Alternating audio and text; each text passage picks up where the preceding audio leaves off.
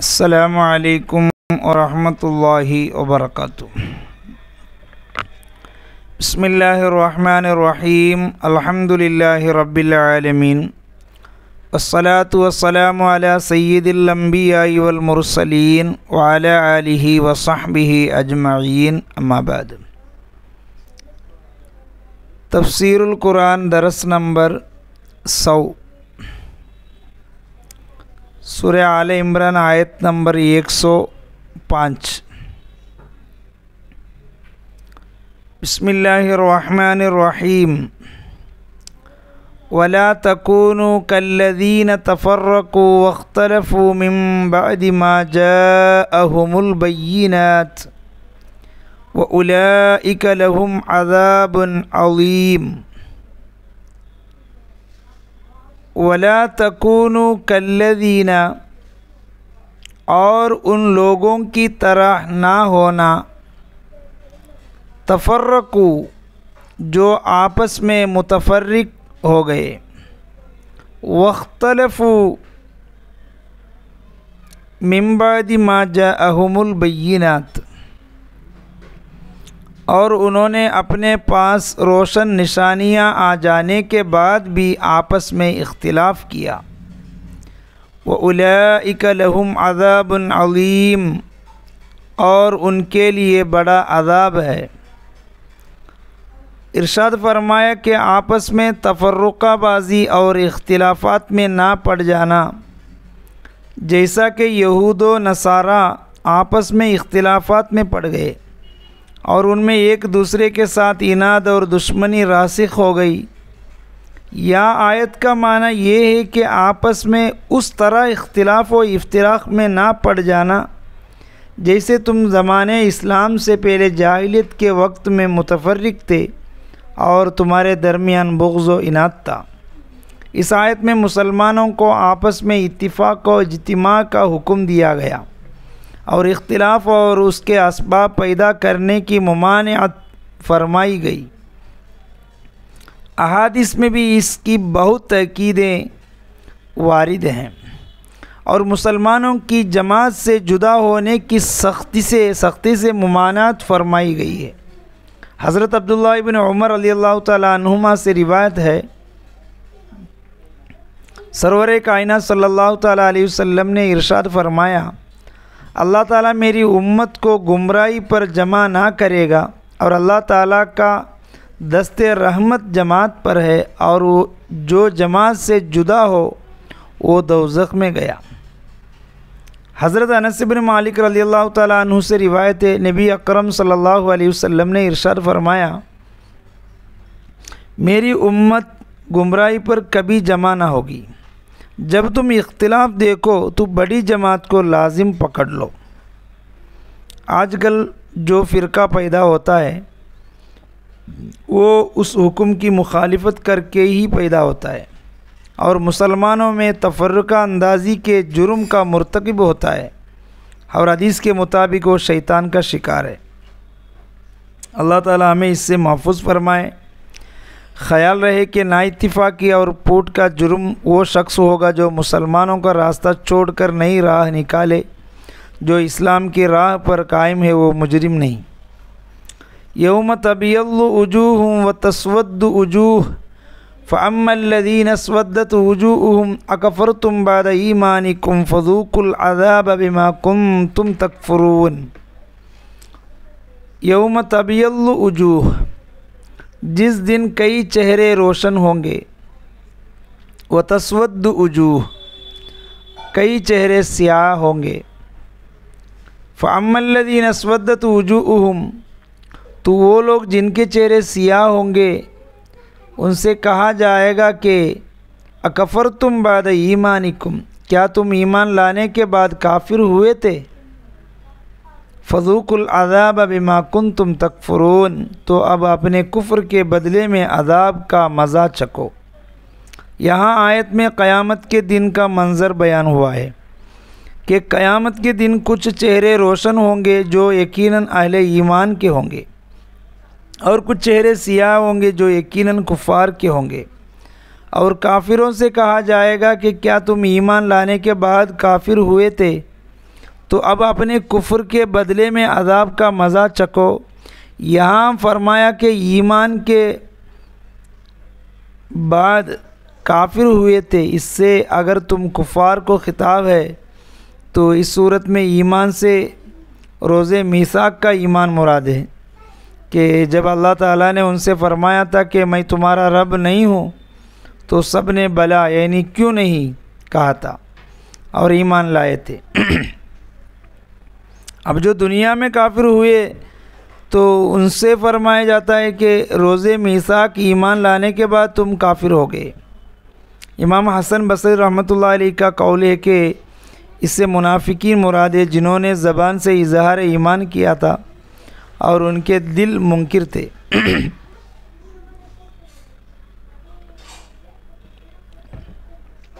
हज़रत इकरीमा रली अल्लाह तु ने कहा कि इससे मुराद अहल किताब है। जो रसूल अकरम सल्लल्लाहु अलैहि वसल्लम की बीसत से पहले तो हुजूर अकदस सल्लल्लाहु अलैहि वसल्लम पर ईमान लाए और जूर के बाद आप सल्लल्लाहु अलैहि वसल्लम का इनकार करके काफिर हो गए। ये कौल ये भी है कि उससे मुखातिब मुर्तद्दीन हैं जो इस्लाम लाकर फिर गए और काफिर हो गए। इनसे कहा जाएगा कि अपने कुफ्र के बदले अब आदाब का मज़ा चको व अमल्लदीन बियल्लत वजूहम फ़फ़ी रहमत उम फ़ीहा खालिदून व अमल्लदीन बियल्लत वजूहम और वो लोग जिनके चेहरे सफ़ेद होंगे फ़फ़ी रहमत वो अल्लाह की रहमत में होंगे हम फ़िया खालिदून वो हमेशा इसमें रहेंगे यानी अल्लाह ताला के इतात गुज़ार मोमिन अल्लाह ताला की रहमत की जगह जन्नत में होंगे और वो हमेशा उसमें रहेंगे। अल्लाह ताला अपने इतात गुज़ार अहल ईमान के बारे में एक और मकाम पर इरशाद फरमाता है। सूर यूनुस के आयत नंबर 26 लिल्लदीन अहसनहुसना व ज़ियादा। वला यरहक वजूअहम क़तरुम वला दिल्ला उलाइक असहाबुल जन्नति हम फ़ीहा खालिदून। भलाई करने वालों के लिए भलाई है और उससे भी ज़्यादा है। और उनके मुँह पर ना सियाई चाई होगी और ना दिल्लत। यही जन्नत वाले हैं, वो उसमें हमेशा रहेंगे। और इरशाद फरमाया, वो वजूह यौमदी मुस्फिरा लाहिकत मुस्तबशरा। सूर्य आबसा की आयत नंबर 38 और 39 बहुत से चेहरे उस दिन रोशन होंगे, हँसते हुए खुशियाँ मनाते होंगे। रोशन चेहरे वालों से मुराद कौन लोग हैं? तफसीर दुर्मंसूर में हैं हज़रत अब्दुल्ला इबन अब्बास रली अल्लाह तहुमा करीमा, यानी तबीयलूह व तस्वद वजूह के बारे में फ़रमाते हैं तबीयलूजू अहिल सुन्नति वल जमा व तस्वद वज़ू अहल बिदई वल्लाल यानी क़यामत के दिन अहल सुन्नत के चेहरे चमकते होंगे और बिदती गुमराह गुमराहों के चेहरे सियाह होंगे और इसी में हज़रत अब्दुल्ला इबन उमर तहुमा से एक हदीस शरीफ में रिवायत है कि ताजदार रिसाल सल्लल्लाहु अलैहि वसल्लम ने अल्लाह ताला के इस फरमान तबीयलूजू व तस्वद वज़ू के बारे में फ़रमाया तबीयलूजून अहल सुन्नति व तस्वद वजून अहल बिदा क़ियामत के दिन अहल सुन्नत व जमात के चेहरे सफ़ात चमकते होंगे और गुमराहों के चेहरे सिया होंगे। और एक दूसरी रिवायत में है कि हज़रत अबू सईद खुदरी रली अल्लाह से मरवी है। हुजूर सैदुलमरसलिन सल्लल्लाहु अलैहि वसल्लम ने आयत करीमा तबीयलूजूह व तस्वद वजूह तिलावत फरमाई, फिर फरमाया तबीयलूजूह अहलिल जमात वसन्ना व तस्वद वज़ू अहल बिदल अहवा। यानी क़यामत के दिन अहल सुन्नत व जमात के चेहरे सफ़ेद चमकते होंगे और बिदती व गुमराहों के चेहरे सियाह होंगे। तिल का आयातुल्ला बिलहक़ व अमल्लाहु युरीदुलमलमीन वलिल्लाहि मा फिस समावाति व मा फिल अर्द व इलल्लाहि तुरजउल उमूर। तिल का आयातुल्लाह ये अल्लाह की आयतें हैं। नतलूहा अली का बिलहक, जो हम हक के साथ तुम्हारे सामने पढ़ते हैं। उमल्लायुरीदुलमलमीन और अल्लाह जहाँ वालों पर जुल्म नहीं चाहता। वलिल्ला माफ़ी समावाती व माफ़िल अर्ल और अल्लाह ही का है जो कुछ आसमान में है और जो कुछ ज़मीन में है।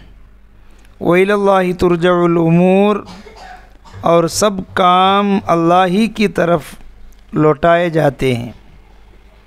यानी लोग जहन्नम में ले जाने वाले अपने अमाल की वजह से जहन्नम में जाएँगे, क्योंकि अल्लाह ताला किसी पर जुल्म नहीं करता, और किसी को बेजुर्म अजाम नहीं देता, और किसी की नेकी का सवाब कम नहीं करता।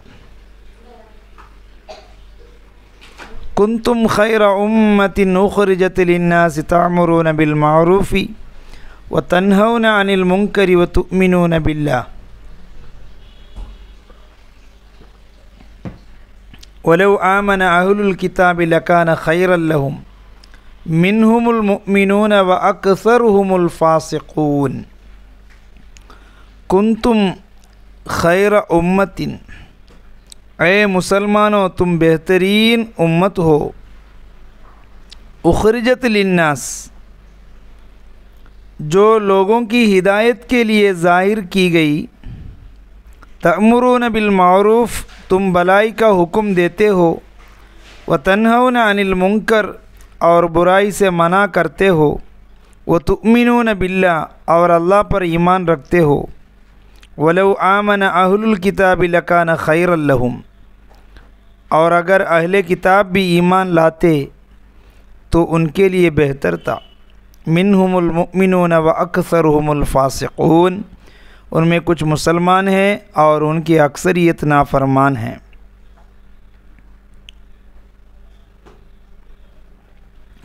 यहूदियों में से मालिक बिन सैफ़ और वहब बिन यहूदा ने हज़रत अब्दुल्ला इबन मसूद वग़ैरह सहाब कराम रदी अल्लाह तहुम से कहा कि हम तुमसे अफजल हैं और हमारा दीन तुम्हारे दीन से बेहतर है। इस पर यह आयत नाजिल हुई और अल्लाह ताला ने उम्मत मोहम्मदिया को तमाम उम्मतों से अफजल करार दिया। हज़रत अली मुरतला रली अल्लाह तु से रिवायत है, हुजूर सल्लल्लाहु अलैहि वसल्लम ने इरशाद फरमाया मुझे वो कुछ अता किया गया जो किसी और नबी को अता नहीं किया गया। हमने अर्ज़ किया रसूल अल्लाह सल्लल्लाहु अलैहि वसल्लम, वो क्या है? इरशाद फरमाया, रूब के साथ मेरी मदद की गई। मुझे ज़मीन की कुंजियाँ अता की गई। मेरा नाम अहमद रखा गया। मेरे लिए मिट्टी को पाकिज़ा करने वाली बना दिया गया। और मेरी उम्मत को बेहतरीन उम्मत बना दिया गया। चूँकि ये बेहतरीन उम्मत है, इसलिए उम्मत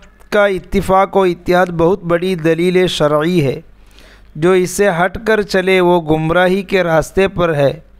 चुनानचे कुरान पाक में हैं सुर निसा की आयत नंबर 115 उमन युशाक़ की रसूल मम्बाद मा तबैन लहुल उदा।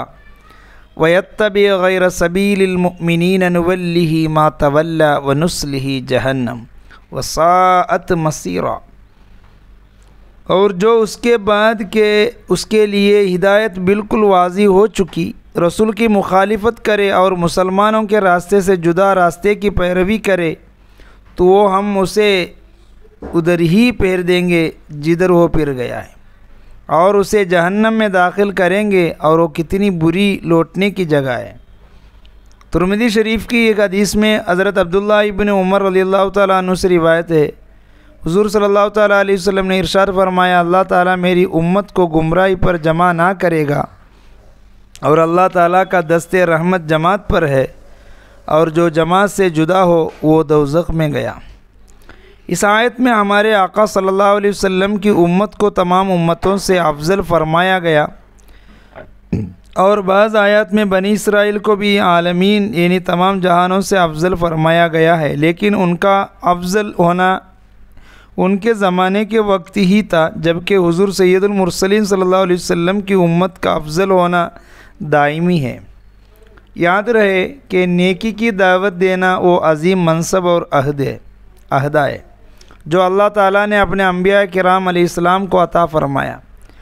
और जब अल्लाह ताला ने अपने हबीब सल्लल्लाहु अलैहि वसल्लम को मबूस फरमा कर नबूत का दरवाज़ा हमेशा के लिए बंद कर दिया तो उसने अपने हबीब सल्लल्लाहु अलैहि वसल्लम की उम्मत को उस मनसब से सरफराज फरमा दिया। और इस अजीम खूबी की वजह से उन्हें सबसे बेहतरीन उम्मत करार दिया। लिहाजा और मुसलमानों को चाहिए कि वो बकदर तोफ़ी नेकी की दावत देता और बुराई से मना करता रहे। अहादिस में नेकी का हुक्म देने और बुराई से मना करने के बेशुमार फ़ज़ाइल बयान किए गए हैं। एक हदीस में है, हजूर पुरनूर सल्लल्लाहु अलैहि वसल्लम से अर्ज़ की गई, लोगों में बेहतर कौन है? इरशाद फरमाया, अपने रब से ज़्यादा डरने वाला, रिश्तेदारों से सिला रहमी ज़्यादा करने वाला, सबसे ज़्यादा नेकी का हुक्म देने वाला और सबसे ज़्यादा बुराई से मना करने वाला सबसे बेहतर है। हज़रत अनसबिन मालिक रली तु से रिवायत है, हजूर अलैहि वसल्लम ने इरशाद फरमाया, क्या मैं तुम्हें ऐसे लोगों के बारे में ख़बर ना दूँ जो ना अम्बिया सलाम में से हैं, ना शहदा में से? लेकिन क़यामत के दिन अम्बिया सलाम और शहदा अल्लाह ताला की बारगाह में उनका मकाम देखकर शक करेंगे। वो लोग नूर के मिंबरों पर होंगे। सहाबा किराम ने अर्ज़ की, वो कौन लोग हैं? इरशाद फरमाया, ये वो लोग हैं जो अल्लाह ताला के बंदों को अल्लाह ताला का प्यारा बंदा बना देते हैं और अल्लाह ताला को उसके बंदों का महबूब बना देते हैं और लोगों को नसीहत करते हुए ज़मीन पर चलते हैं। मैंने अर्ज़ की, वो अल्लाह ताला को अल्लाह ताला के बंदों का महबूब बना देते हैं। ये बात तो समझ में आ रही है, लेकिन वो अल्लाह ताला के बंदों को अल्लाह ताला का प्यारा बंदा कैसे बनाते हैं? इरशाद फरमाया, वो लोगों को अल्लाह ताला के पसंदीदा कामों का हुक्म देते हैं और अल्लाह ताला के नापसंदीदा कामों से मना करते हैं। तो जब लोग उनकी इतात करते हैं तो अल्लाह ताला उनसे मोहब्बत फरमाने लगता है। वलो आमन अहलुल किताबी, और अगर अहले किताब भी ईमान ले आते, यानी अगर अहले किताब भी सैदुलम्बिया सल्लल्लाहु अलैहि वसल्लम पर ईमान ले आते तो उनके लिए भी बेहतर होता। लेकिन उनमें कुछ ही लोग ईमान वाले हुए। जैसे यहूदियों में से हज़रत अब्दुल्ला इबन रली अल्लाह तु और उनके साथी, और ईसाइयों में से हज़रत नजाशी और उनके साथी रली अल्लाह उसके बरक्स यहूद व नसारा की अक्सरियत ने इस्लाम कबूल ना किया। अभी लई यजुर्रुकुम अदम वहीं युकातिलुकुम, युवल्लुकुमुल अदबारा सुमलायुसरून लन यदुर्रुकुम इल्ला अदा ये तुम्हें सताने के अलावा कोई नुकसान नहीं पहुँचा सकेंगे।